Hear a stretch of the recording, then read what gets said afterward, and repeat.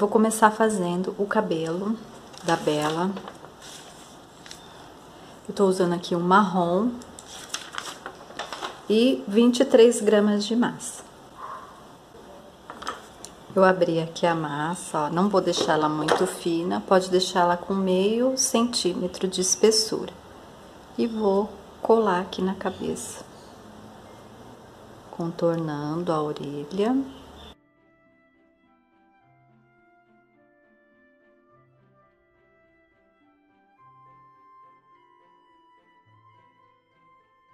Aqui, ó, deixa ela bem lisinha. Então, a gente vai, com a palma da mão, alisar. Aqui eu tenho 8 gramas de massa, vou fazer uma bolinha e um rolinho com a parte, uma parte mais fina que a outra. Deixa esse rolinho com 8 centímetros. E aí, a gente vai colocar ele aqui, bem aqui em cima da orelha dela mesmo, aí vamos contornar aqui. E aí, você vai ajeitando, é só ir apertando, deixando essa parte de baixo mais grossa. E aqui a parte de cima mais fina. Mas aperta ela para ela unir com a massinha da cabeça.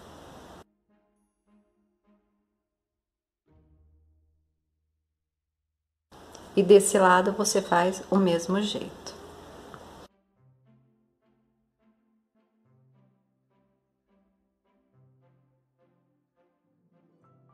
Agora eu vou marcar o meio aqui, ó, da cabeça, para fazer a divisão do cabelo dela aqui na frente.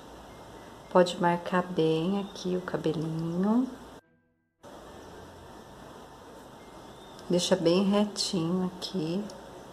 E você vem, ó, e ajeita para ele ficar um pouquinho dividido aqui. Aqui, ó, nessa parte eu vou emendar, tá? Você achata ele um pouco. E aí você vem e emenda essa parte. Já emendei, ó, todo aqui, essa lateral toda, dos dois lados. E agora eu vou marcar.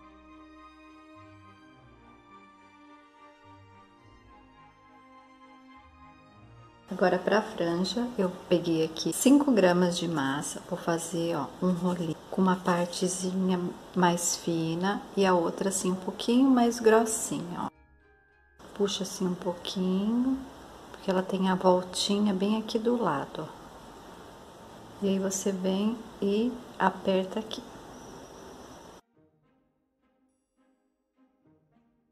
Faz a mesma coisa do lado de cá.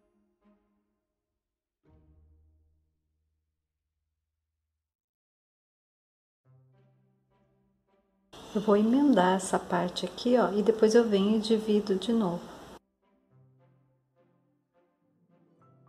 Ó, ajeitei aqui o cabelinho dela. Deixa ele bem viradinho aqui, assim, ó. E aqui se aperta bem, tá? Aperta, aqui eu apertei bem, ó. Depois de sumir a marcação, você reforça. Agora, aqui na frente, a gente vem e marca aqui também, ó.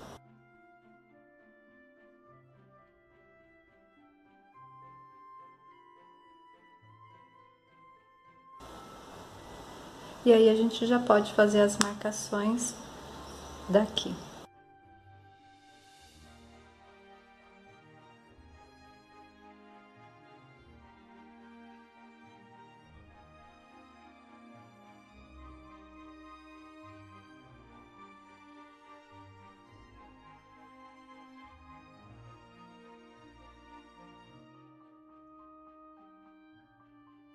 Eu vou fazer o rabinho que ela tem atrás, ó. E vou fazer umas marcações. Aqui tem dois gramas de massa. E o lacinho, aqui eu tingi a minha... Um pouquinho desse azul e um pouquinho de branco. Aí ficou nesse tom, que é o tom do vestido dela. Fazia um rolinho. Aqui eu tenho 1,4 gramas de massa. Vou fazer, vou dividir aqui no meio e vou fazer o laço.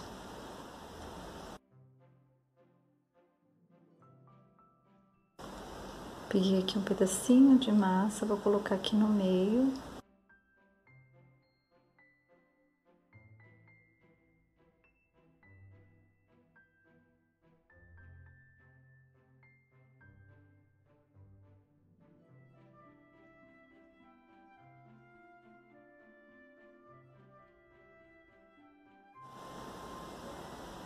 Vou passar cola aqui no, no rabinho e vou colar o laço aqui.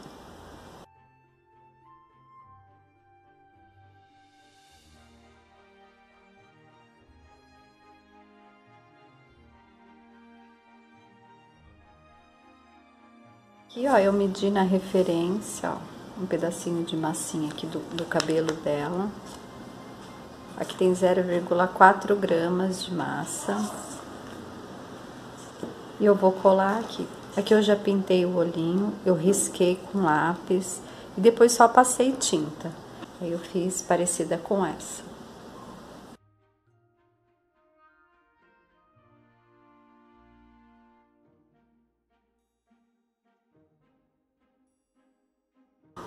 E o rostinho e o cabelo já ficou pronto.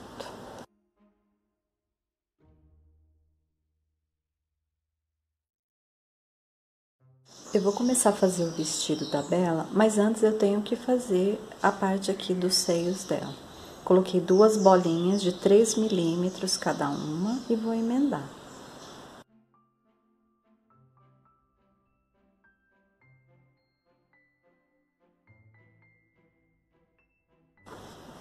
Eu tenho que deixar secar antes de colocar a roupa. Eu cortei aqui um pedacinho de massinha branca e vou fazer a blusa. Tem que ser bem fininha essa massinha.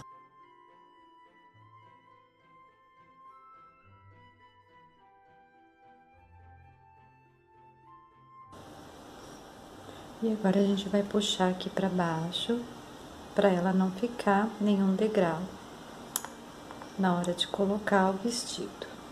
Para fazer a gola, eu peguei um pedacinho de massinha branca, bem fininho, e vou fazer, e vou colar aqui, ó.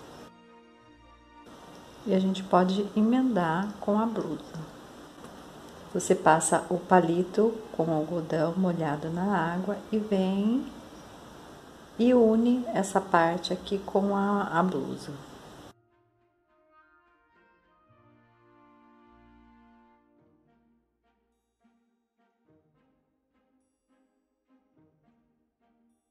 Eu vou fazer primeiro a parte da saia, porque para fazer a blusa eu tenho que já colar o bracinho e eu vou esperar mais um pouco assim, essa blusinha secar para não acabar deformando. Então eu abri aqui, ó, uma massinha com 3 centímetros de altura, um pouco mais grossa na parte de cima e um pouco mais fina na parte de baixo. E vou colocar aqui na cintura, ó, um pouquinho só maior aqui.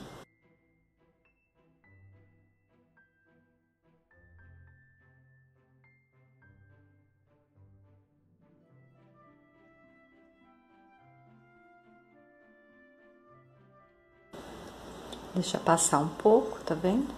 Porque vai secar e vai encolher. Se você não deixar esse espacinho aqui embaixo, vai aparecer o corpinho. Então, tem que deixar com meio centímetro aqui de sobra de saia. Aqui na parte de cima, a gente vai puxar um pouco, ó, para a hora que eu colocar a blusa não ficar nenhum degrau.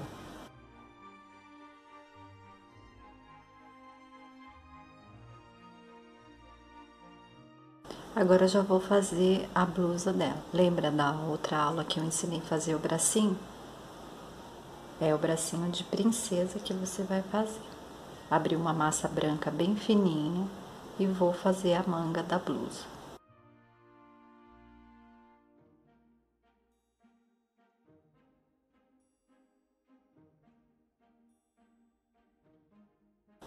Já pode colar aqui. Aqui você pode puxar para emendar. E faz a mesma coisa desse lado.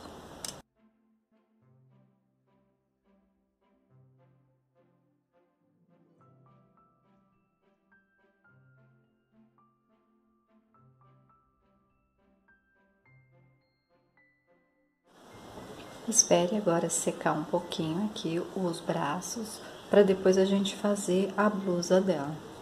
Cortei aqui, ó, uma partezinha da frente e faz a mesma coisa, corta a mesma coisa para a parte de trás.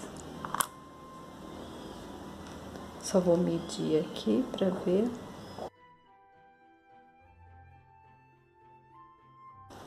Deixa um pouco arredondado aqui essa parte no canto.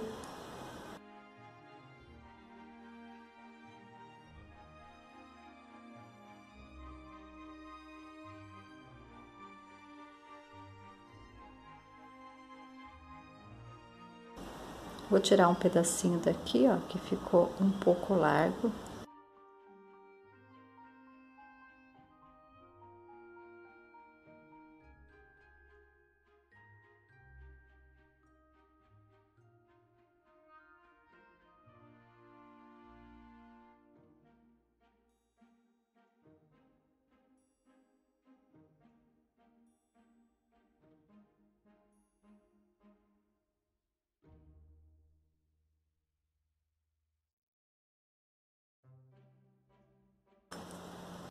Aí aqui na parte de trás a gente faz a mesma coisa, ó, coloquei e agora eu vou emendar.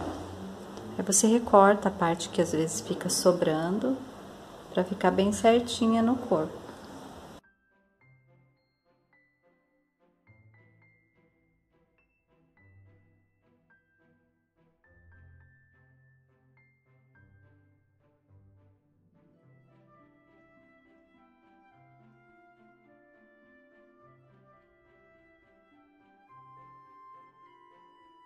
E a gente vai cortar o aventalzinho dela. Eu abri aqui uma massinha bem fininha, branca.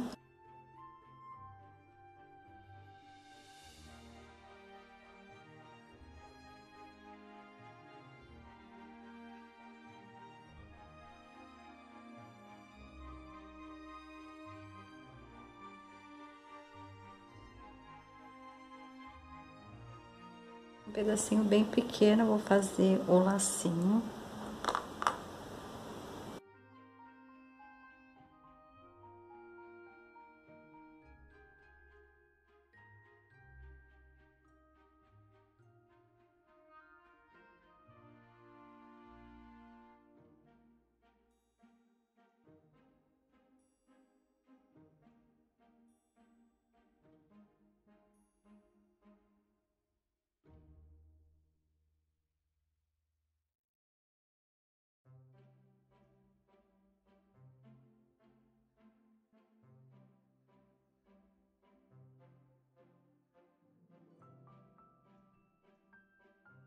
Pouquinho de cola aqui e vou fazer um acabamento aqui na, na manga da blusa dela, só com um pedacinho de massinha,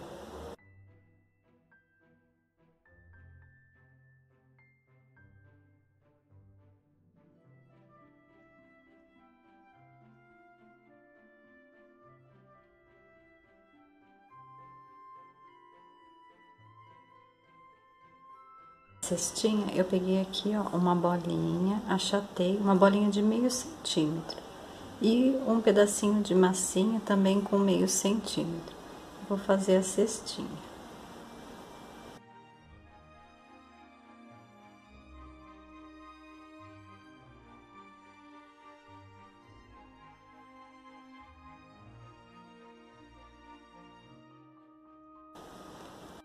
Fiz aqui um rolinho, ó bem fininho e vou fazer o acabamento aqui da cestinha.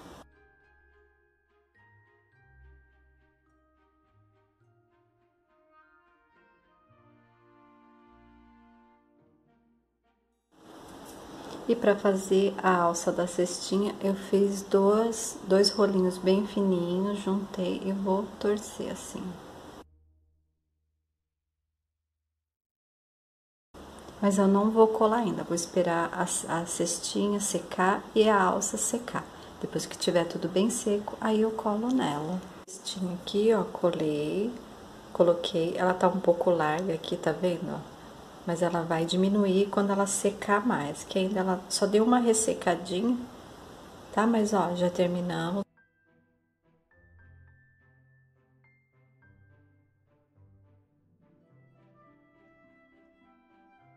Aqui na parte de baixo, eu vou passar cola aqui e vou colocar um pedacinho de massinha aqui, ó, pra tampar. Eu não...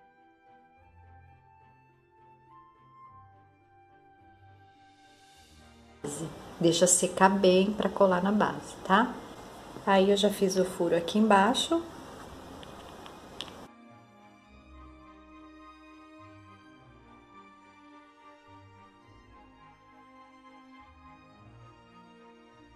Espero que vocês tenham gostado. Muito obrigada e eu te vejo na próxima aula.